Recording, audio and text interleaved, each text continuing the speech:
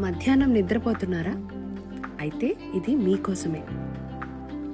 మనలో చాలామందికి మధ్యాహ్నం భోజనం చేసిన తర్వాత నిద్రపోయే అలవాటు ఉంటుంది. ఇంకా ఖచ్చితంగా చెప్పాలంటే పది మందిలో కనీసం ఎనిమిది మందికి ఈ అలవాటు ఉంటుంది.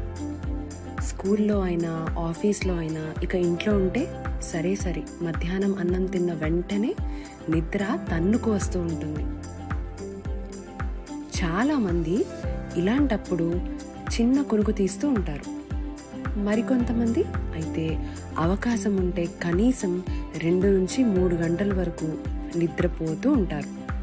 ఒక పది నుంచి ఇరవై నిమిషాలు అయితే పర్లేదు కానీ అంతకన్నా ఎక్కువ నిద్ర అయితే ఖచ్చితంగా హానికరం అంటున్నారు నిపుణులు.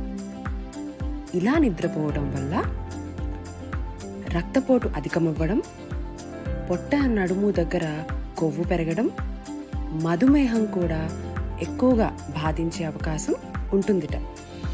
అలాగే అన్నిటికంటే ముఖ్యమైన సమస్య రాత్రి వేళల్లో నిద్రలేమి కలగవచ్చని చెప్తున్నారు.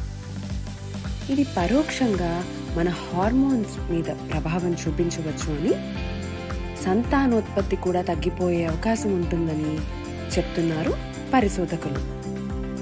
అందుకే పెద్దవాళ్ళు ఏం చెప్తారు? మధ్యాహ్న సమయంలో భోజనం మితంగా చేస్తే మంచిదే.